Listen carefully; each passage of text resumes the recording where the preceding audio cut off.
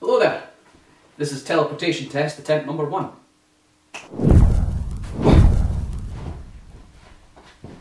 Success!